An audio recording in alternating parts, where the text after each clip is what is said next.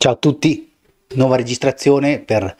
un po' le novità del calciomercato, ma anche per le amichevoli che dovrà affrontare, le ultime amichevoli della nostra eh, grande Atalanta. Ma prima di tutto la sigla. Forza Atalanta, dai, spingi più forte che puoi. Forza Atalanta, dai, siamo tifosi tuoi. Forza Atalanta, dai, spingi più forte che puoi. Parliamo anzitutto delle amichevoli, una, una- oggi pomeriggio alle 4, solito orario, e, ehm, con la Prosesto. Sicuramente, non so se la porta è chiusa o meno perché la Prosesto abbiamo sempre avuto dei problemi eh, di ordine pubblico. Eh, tuttavia, eh, un ultimo test per poi andare in Germania a giocare con l'Union Berlino. Union Berlino che mh, non conosco come squadra, però appunto dicevo l'alt- nell'altro video che eh, eh, ha comunque vinto con, eh, con l'Udinese e quindi eh, visto che l'Udinese è una squadra di Serie A, vediamo che questo test che eh, si, si rivela abbastanza importante. Poi eh, sembra che eh, ci sia la prospettiva di giocare contro la Juventus a Cesena perché è vicino alle località eh, di mare probabilmente far fare arrivare un po' di gente. Il 12 agosto mh, contro la Juventus comunque un test di Serie A mh, che ehm, si rivela comunque importante. Vediamo la Juventus che non ho visto dei grossi colpi di mercato. Però mh, comunque è rimasta una buona Juventus, ehm, al di là di questo eh, la valutazione del Serie A l'avevo fatta l'altra volta e quindi non mi dilungo tanto sul fatto della, della Juventus e di altre squadre di Serie A. Eh, parliamo tra una parentesi, eh, nazionale femminile, oggi stamattina alle 9 eh, la nazionale femminile si giocherà l'accesso eh, al, mm, alla fase finale del campionato del mondo, ha perso 5-0 contro la Svezia, ha vinto 1-0 contro l'Argentina, quindi deve fare una buonissima partita, sicuramente vincerla. Giocano in Nuova Zelanda, quindi l'orario è un po', un po' particolare, saremo tutti al lavoro, la seguirò così senza, mm, senza però comunque mi interessa, sento eh, partito di calcio, vedere come mm, si comporterà con nell'ultima, nell'ultima sfida del girone riguarda l'Italia, Svezia già qualificata, mm, penso che se la lottino l'Argentina e, e l'Italia, la Sve- eh, quindi vediamo, vediamo un po'. Parlando di calciomercato per l'Atalanta, ehm, anzitutto eh, rumors molto abbastanza forti per quanto riguarda l'Atelat eh, verso la Spagna, speriamo che questo non succeda perché in questo momento siamo un po' carenti eh, a livello di, mm, di attaccanti. Eh, quindi, mh, quindi vediamo un po' eh, se queste eh, voci sono, sono veritiere, credo che sia in prestito comunque perché l'Atalanta sta continuando a crescere eh, per- in ogni stagione. E a me piace, è piaciuto meno nelle, nelle amichevoli, certo, poi non sono squadre fortissime, quindi eh, non so in Serie A, in Europa League se potrebbe eh, diventare prezioso o meno. Tuttavia, un palomino che sembra ormai al 95% del Cagliari, non prendiamo praticamente quasi niente perché prendiamo un milione eh, e mm, io non so, eh, ehm, comunque sia, visto gli infortuni che abbiamo avuto l'anno scorso, se era necessario mm, venderlo al, al Cagliari perché sembra che sia acc- accessione a titolo definitivo per un milione un milione veramente poco visto il mercato dell'Atalanta e quindi eh, sì, certo, ha 33 anni, però eh, devo dire che è maturato molto eh, nell'ultimo periodo e a me eh, piaceva molto eh, come giocava in difesa. Credo che questa cessione al 95% lasci presagire anche l'acquisto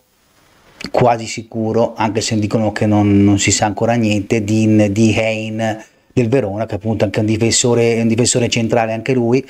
eh, che insieme a Kolasinac e ehm, comunque a Scalvini e, e Toloi eh, rendono la difesa eh, comunque eh, importante. Comunque un palomino Visto la, la cessione, eh, quanto prendiamo, mh, credo che mh, non era necessaria. Mh, comunque queste sono valutazioni che fa comunque la dirigenza talantina credo che eh, abbiano una sua ragione. Quindi penso che il Palomino in uscita e, e in entrata siano, siano quasi sicure. Ehm, c'è molto, mm, molto, mercato per quanto riguarda Holm eh, dello Spezia, eh, noi da un po' che lo stiamo seguendo, adesso sono, ci sono, anzitutto dopo di noi, perché penso che noi siamo stati la prima squadra ad interessarci a questo giocatore,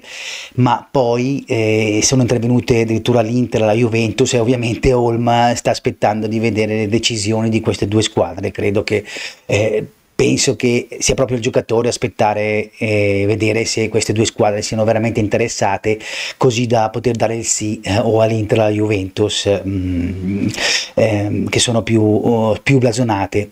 Probabilmente più, più all'Inter che addirittura in Champions League rispetto una Juventus che quest'anno comunque non fa non fa le coppe ma comunque eh, si chiama comunque Juventus. E credo che rispetto all'Atalanta che comunque ha un suo, un suo, una sua nomea in questi ultimi anni eh, sia in Europa che in Italia mh, mm, però mh, mm, penso che mh, mm, eh, venga preferita sicuramente come c'è trovato Vlaovic ad esempio come la Fiorentina e la Juventus. Questo è un esempio così particolare eh, tanto per dire eh, bisogna capire poi in attacco, in attacco andando via Oslund, eh, secondo me ehm, siamo un po' carenti. Eh, Zapata e Muriel sicuramente sembrano che, sembra che dovrebbero restare, ci sono un po' di rumor su Zapata, qualcuno lo vorrebbe, però mh, mm, Zapata se mh, mm, sa il fatto suo quando gioca, certo entrambi sono abbastanza vecchi, però eh, Zapata um, ha fatto delle buonissime partite, ecco un po' scostante, due anni fa vi ricordo comunque che ha fatto un girone d'andata entusiasmante, quindi si parla parlando di neanche, neanche, due anni fa. Eh, dopo mm, ci siamo fermati dopo, dopo, la sosta natalizia e, e quindi mm, ti ricordo che c'era ancora Gosens, giocavamo la, la Champions League, eh, quindi mh, mm, una zappata che, che, era strabiliante, quindi e, e poi mh, quest'anno ha fatto due o tre partite importanti che secondo me c'era nove punti in quelle tre partite sono stati suoi perché ha fatto tre partite belle poi le altre purtroppo eh, Zapata quest'anno non ha reso quanto pensavamo. Eh, quindi mh, in attacco dicevo eh, mh, Elia Touré, Elia Touré eh, penso che sia più un, uh, un, sostituto di Boga piuttosto che di Ojlund, quindi Ojlund lascia un po' scoperta davanti e, e quindi bisogna capire un po' um, chi prendere sicuramente eh, per, per rimpiazzare Ojlund eh, anzi eh, sarebbe meglio anche addirittura due punte poter essere sicure in caso di infortuni. Tuttavia, anzi, eh, rimpiazzando solo, una, solo, solo Ojlund, gli attaccanti che eh, sono nel mirino dell'Atalanta eh, sono uno che credo che sia quasi, in, eh, sia quasi impossibile, che sono ehm, che è, è, è, è Kiteke e Titeke del PS Paris Saint Germain che non è valutato tantissimo a livello di transfer market, solo 20 milioni solo tra parentesi, eh, nel senso che è abbordabile visto il, il mercato di Oslund, ma secondo me la cosa più faticosa mh, mm, sarà convincere il giocatore e soprattutto eh, l'ingaggio, l'ingaggio del giocatore stesso. Quindi sembra che la prospettiva di questo giocatore del Paris Saint Germain eh, che arriva appunto da una, una, una, squadra comunque abbastanza blasonata in Europa mm, in questo periodo mm, non sia molto facile. Eh, hanno prospe- dato prospettiva di questo Colombo eh, che io ho sentito poco, Lorenzo Colombo, punta centrale del Milan, eh, quindi valutazione abbastanza bassa, 5 milioni e mh, mm, non so... Mh, mm, non so eh, appunto quanto possa valere sinceramente sul Milan non, ho, no, non l'ho seguito benissimo questo, questo Colombo eh, non so neanche quanto abbia segnato eccetera Lascio dire a voi eventualmente qua sotto se sapete di più di questo giocatore, quindi mm, vediamo un attimo. Poi si parla del, di Emmanuel, Emmanuel Dennis, che eh, nel, nel, cognome ricordiamo tanto il nostro, il nostro German Dennis, comunque eh, cioè, appena sentiamo questo, questo, cognome ci viene subito in mente il passato, eh, ma vabbè, eh, questo Manuel Desi che, eh, che gioca nel, nel, Nottingham Forest retrocesso con Floyler quindi eh, comunque abbiamo dei, un, buon, un, buon, rapporto diciamo con Nottingham Forest. Potrebbe essere darsi che questa, questo giocatore visto la retrocessione possa interessarsi a venire anche l'Atalanta. Mm, gli altri che sono del mercato ma che non sono attaccanti eh, sono oh, De Ketelare, De Ketelare che sembra che il Milan assolutamente non possa rimanere e, e quindi eh, c'è questo interesse per l'Atalanta. Eh, valutazione abbastanza alta, 22 milioni, non, non è un, um, un ruolo che adesso in questo momento eh, è importante per l'Atalanta, nel senso che non abbiamo, non abbiamo delle defezioni, eh, secondo me lo possiamo ricoprire abbastanza bene, tra Pasalic e, e il nuovo il Bartouré, eh, quindi, ehm, quindi mm, non lo so, eh, o se viene in prestito eccetera, forse cioè, sicuramente la nomea di questo giocatore è sicuramente importante, quindi se viene in Atalanta non fa altro che piacere, però ecco mh, mm, il ruolo eh, direi che è abbastanza coperto. Eh, vediamo un attimo anche, eh, volevo riparlare anche del, eh, alla fine del, no, eh, dicevo appunto per il mercato, quindi siamo al, al 2 agosto, abbiamo ancora un mese perché chiude il 31 agosto um, a campionato già, già avviato, quindi eh, ci sono anche un paio di test in, in, campionato che possono far sì che noi possiamo comprare qualcosa. All'ultimo, non lo so come, come abbiano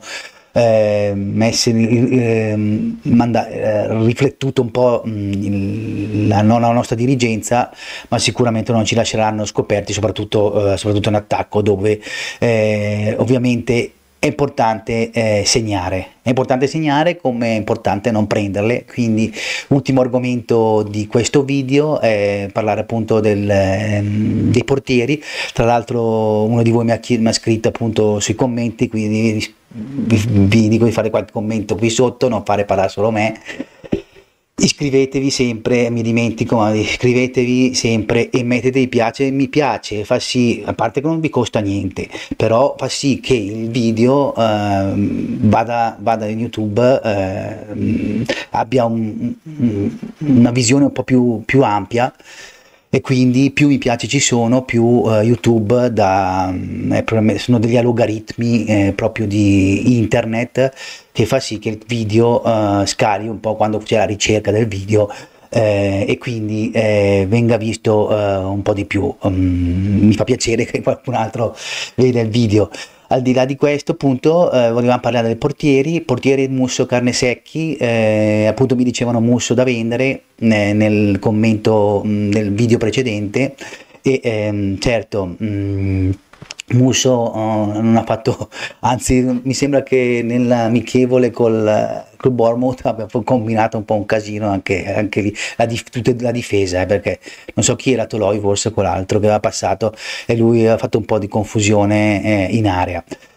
E quindi anche nell'amichevole, poi sì, è sempre un po' um, un'incognita, non, secondo tutti, secondo tutti, non chiama mai la palla, quindi in difesa sono tutti un po' eh, fan, fan fatica, però a volte fa di quelle parate veramente anche belle, eh, veramente importanti. Musso abbiamo pagato anche abbastanza, quindi non, so, non penso che sia facile da vendere, eh, anche perché appunto non, non, ha reso quello che, mh, mm, che pensavamo. Carni secchi, quindi eh, sì. Mh, mm,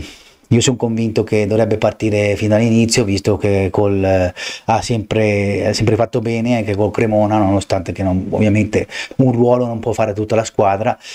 E, e, è interesse da parte di tantissime squadre quindi anche lui se giocasse eh, sarebbe sicuramente contento per lui ma vorremmo vedere anche noi tifosi come è la reazione intanto le prime partite sì sono importanti ma Certo, um, vediamo, vediamo insomma, comunque eh, perché non vendere Musso comunque al di là dei, dei, di quello che potremmo prendere o meno, secondo me i 20 milioni mi sembra che eravamo lì, che avevamo pagato l'Udinese, non li prendiamo, ma il problema è prenderne un altro perché comunque non, è certo Rossi che può fare il secondo portiere a, a carne secchi quindi eh, un secondo portiere abbastanza forte lo dobbiamo avere eventualmente che, che si scambiano appunto questi due portieri eh, Carnesecchi e, Mucco, e Musso. Visto che Sportiello se n'è andato oppure trovare, trovare, un portiere ma non credo che ehm, sia il, visto Musso e Carnesecchi credo che non sia l'obiettivo principale per il rafforzamento della nostra squadra. Quindi ha ragion veduta pensando a tutto quello che potrebbe succedere io Muscio comunque lo terrei. Più che altro domandarsi appunto se non, non provare a fare del primo portiere carne secchi e poi vedere eh, poi vedere appunto tenere Musso come secondo portiere. Certo Sportiera non ha giocato tantissimo oppure farli girare. Mm, comunque sia eh, ecco certo alla fine mh, mm, avere un portiere che ti dà più sicurezza rispetto a questo, a questo muso che quando lo vedi un po' insicuro hai paura sempre che succeda qualcosa di, di, di particolare questo sicuramente eh, gioca, gioca a vantaggio del fatto che con Musso come, come, come, titolare non abbia da parte del tifoso eh, molta, molta considerazione Bene, eh, vi saluto, prossimo video, eh, vediamo un attimo con eh, cosa, facciamo oggi e mm, nel prossimo video vediamo se riguarda il calciomercato o riguarda appunto uh, qualcosa, qualcosa, qualcos'altro di, di, di, di, diverso, magari un, un anzi eh, esatto, potremo vedere nel Bar Touré che mi sembra che parta titolare sabato e valutare appunto mh, mm, come mh, mm,